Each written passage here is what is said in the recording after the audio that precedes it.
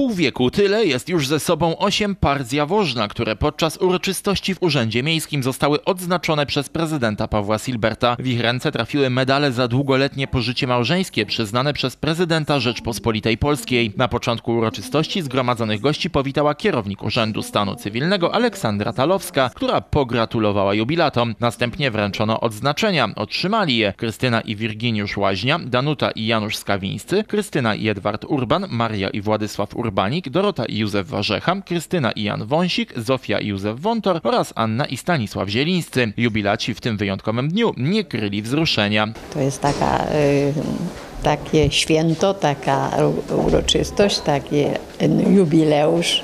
Wspaniale. 50 lat, no dużo i niedużo. Kawał historii. Kawał historii, no ale y, y, o ile chodzi o wrażenia z dzisiejszego dnia są pozytywne. Cieszę się, że dożyłem tego. Dziękuję za te wszystkie życzenia. No i oby tak dalej. Wzajemnie się wspieramy, wzajemnie, wzajemnie się od siebie uczymy i wiemy, że możemy liczyć na siebie. To jest, naj... a przede wszystkim miłość. To jest, wie pan, popierać, dążyć do tego, żeby to jak najdłużej trwało, a życie pokaże.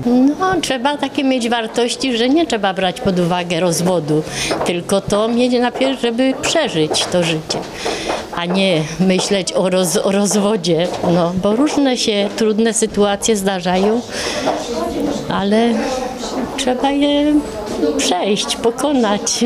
Parom gratulujemy i życzymy kolejnych lat w szczęściu i miłości.